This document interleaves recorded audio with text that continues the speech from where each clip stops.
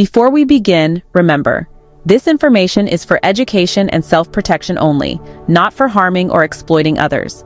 Use what you learn to protect yourself and your community. Cybernexia's mission is to help you stay safe in our connected world. Cybersecurity affects everyone, and learning to protect your devices is essential. Think of cybersecurity like locking your front door. Don't leave your digital life unprotected. This series is not for malicious use. Misusing these techniques is illegal and unethical. We condemn any harmful actions. By understanding how hackers operate, you can better defend yourself and spot threats. Ethical hackers use these skills to protect, not attack. Our goal is to help you become a vigilant digital citizen. Stay alert and informed. Awareness is your best defense. Share this knowledge. The more people who understand cybersecurity, the safer we all are. Support our mission by subscribing to Cybernexia and help make the internet safer for everyone. Together, we can build a secure online community for all. Knowledge is power. Use it to protect and make a positive impact. Let's get started. Stay curious, stay vigilant, and begin your cybersecurity journey now. When you pick up your phone and make a call, you probably assume that your conversation is private, just between you and the person on the other end.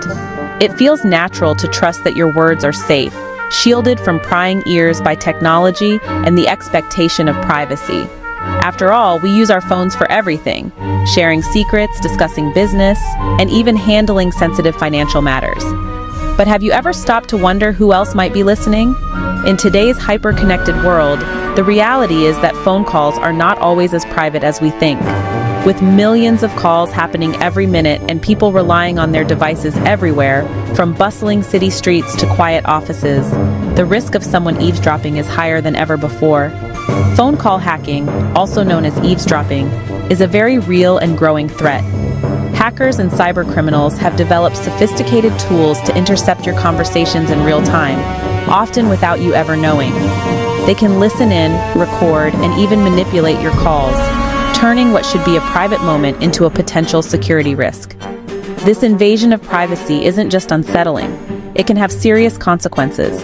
Hackers can steal your personal information, access your bank details, or even use your private conversations for blackmail or fraud. The loss of sensitive data can impact your finances, your reputation, and your peace of mind. How do they do it? Hackers exploit weaknesses in mobile networks, Wi-Fi connections, and even popular VoIP services.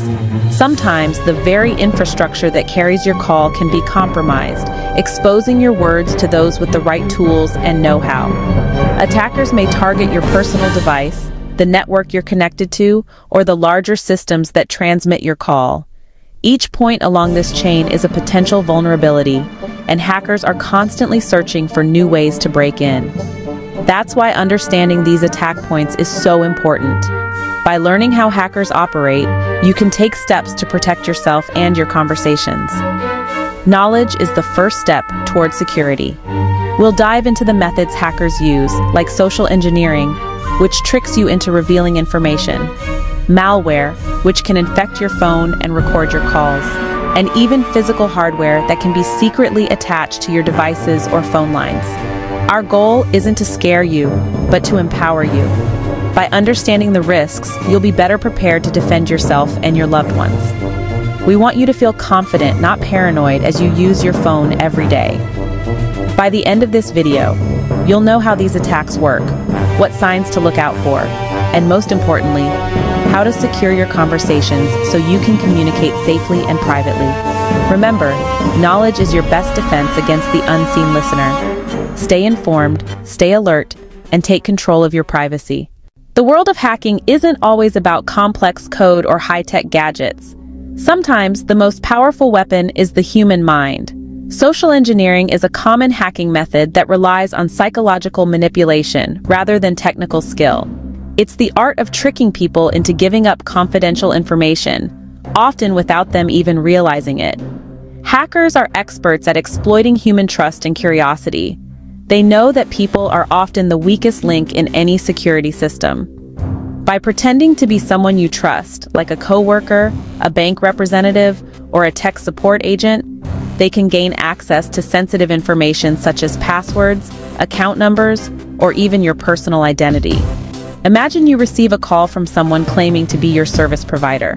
They sound professional and convincing, and they urgently ask for your password to verify your account. In the moment, it's easy to believe them. After all, they seem to know a lot about you already.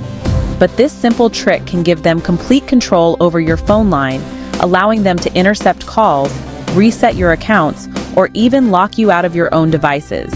The consequences can be devastating, from financial loss to identity theft. Phishing emails or texts are another favorite tool of social engineers.